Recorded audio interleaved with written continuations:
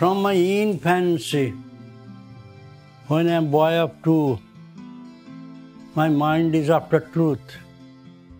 This is Hariharananda, destiny. And always sitting where they are chanting the mantra. Two to four, two years and six months. Then everything I memorized in the fontanel.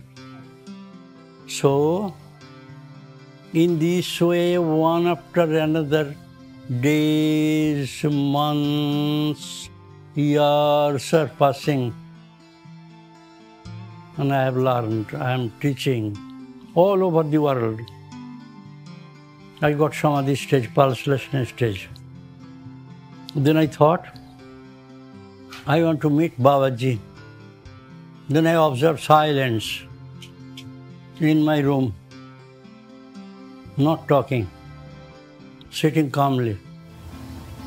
So if you have the desire, be Hariharananda, try. You see, this gentleman, he's always trying to follow Hariharananda.